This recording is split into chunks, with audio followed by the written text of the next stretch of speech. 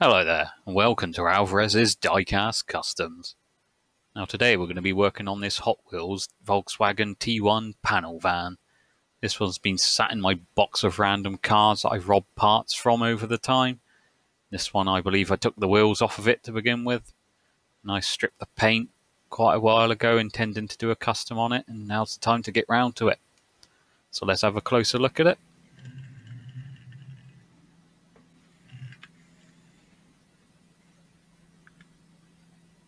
Pretty good looking. Nice casting. As you can see, I've already sanded down the roof on that. I believe there was a casting line down it.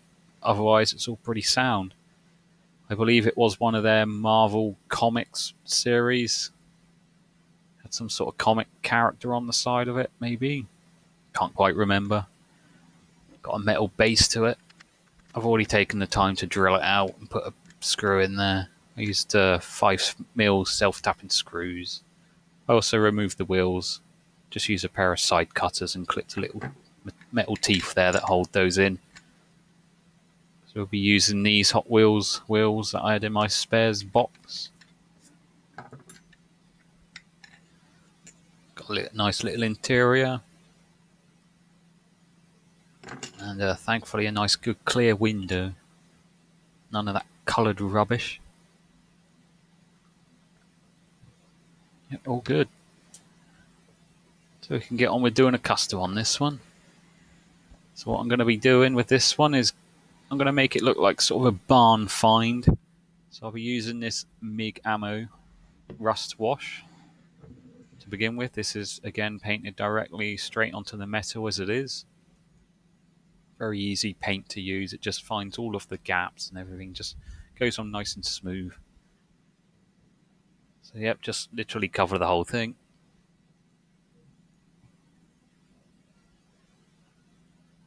We'll also do the base while we're at it as well.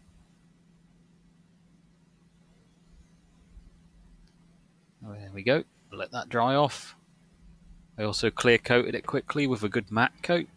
And that's already the dry and we can start doing some extra detailing on it. I'm going to be going with a two-tone colour on this. So I'll be using this Tamiya masking tape. It's been the best masking tape I've found so far.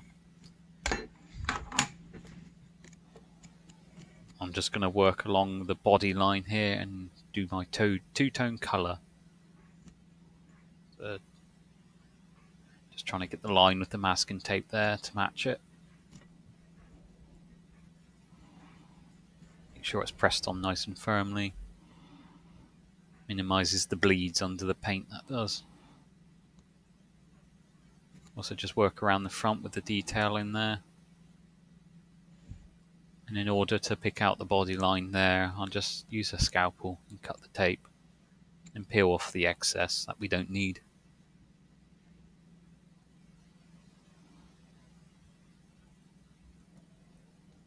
And there we go. Now I'm going to be using the salt and water technique. I've seen Danny's Diecast Disasters do this a number of occasions and I like the effect of it. So I'm going to go give it a shot myself.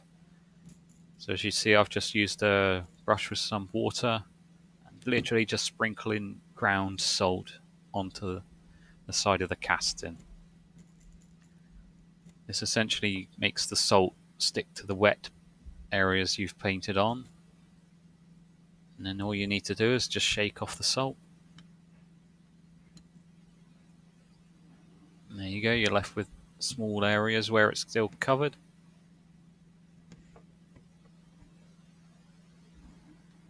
There we go, that's after doing the whole body. I'm going to be painting that part white, as you can see. Now we need to remove the salt that's there. So I'll be using a stiff bristled brush and just working away at the salt. It's a bit stubborn, but you get there eventually.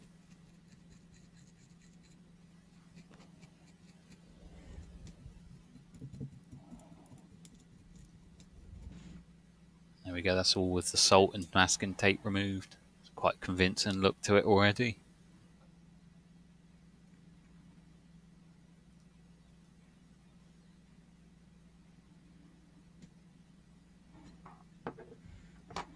I'm just going to be going about doing another colour on the lower area. So what I'll need to do is just mask off the top that I've already painted up.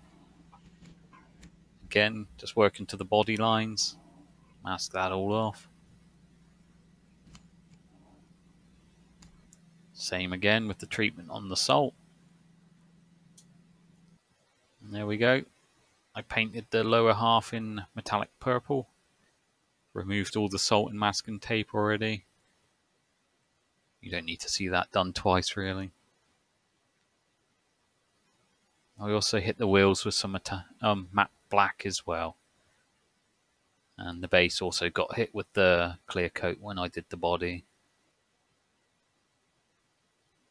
can get on with some detailing. So I'm just going to be painting in the headlights and other little areas with some Revell aluminium paint.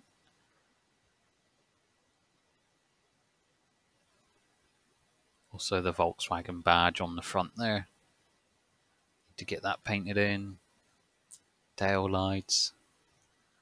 Door handles. Whatever else I could find. Just little extra details to bring it out.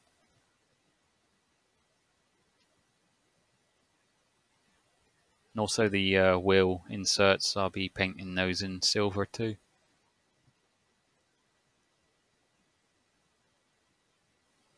Not the neatest of jobs, but that doesn't matter with the build we're going for. I can tidy that up later.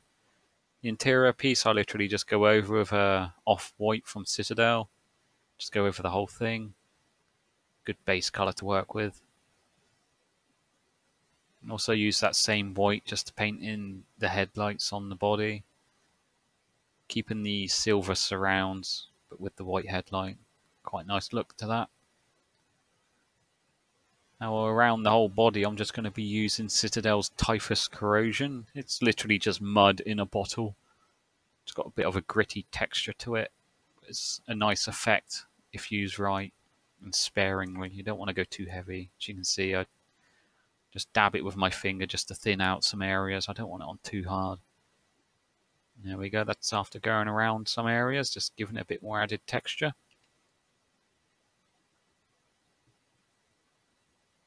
Just apply the same typhus corrosion to the whole chassis.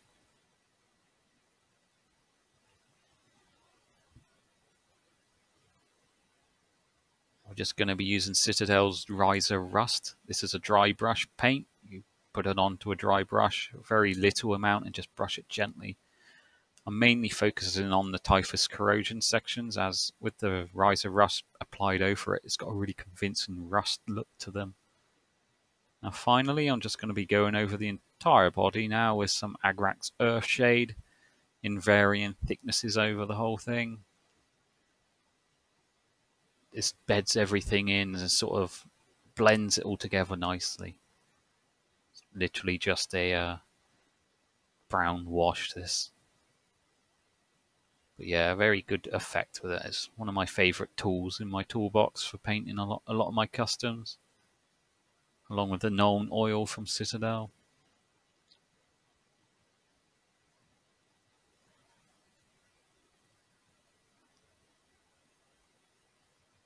So also apply the same Agrax Earthshade to the chassis too.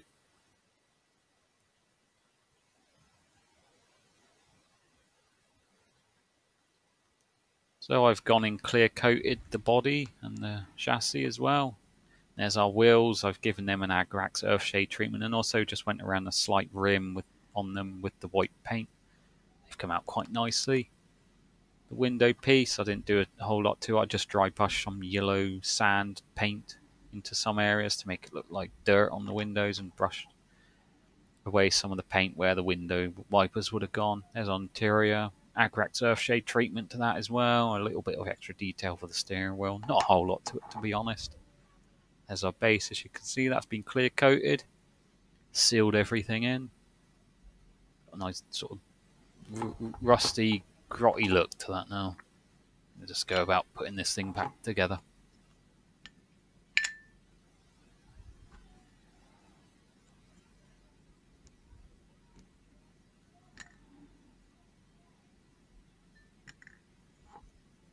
the chassis piece it locates on that rear number plate that goes through the back there and Only requires the single screw to screw it in.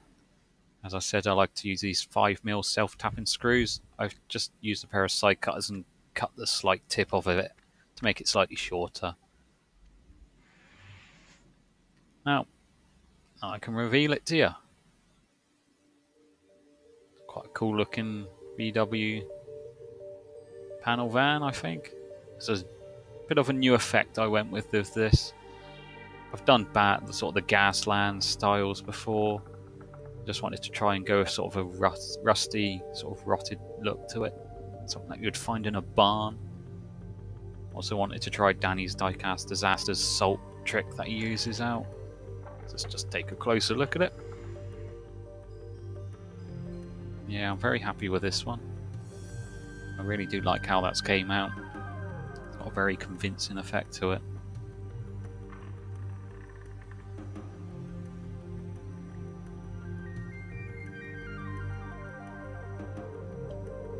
It's definitely something I'm going to be exploring in the future again. It's quite enjoyable to do. Not very time consuming like a lot of my builds. Got this done in an afternoon, which was quite good. Usually it takes several days going through paint processes and waiting for it to dry and everything. This was very quick. So yep, very pleased with this one. I would also like to say, know, a couple of videos time with my coming up close to a thousand subscribers. Uh, I'll be doing a giveaway on this particular car here. So keep your eyes peeled for that one. Here's some extra pictures I took of it, just under a different light conditions.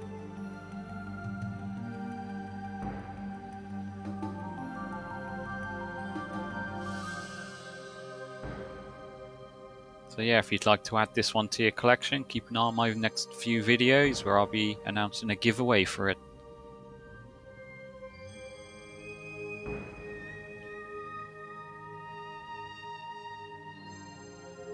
for the time being, let's go see our goddess Super Pochaco and see what she's got for us next time.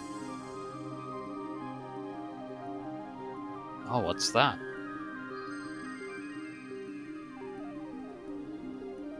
Nice take a look. Huh. Looks like a Hot Wheels Ford Ranchero. That's pretty cool.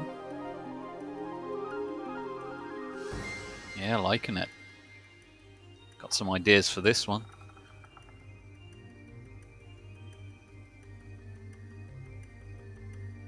Thanks for that. So, I hope you enjoyed the video.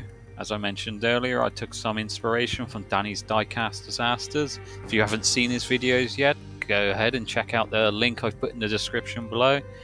One of my favourite YouTubers is for some of these customs he is. So yeah, go give him some support. And thanks for watching guys and I'll see you next time. Bye for now.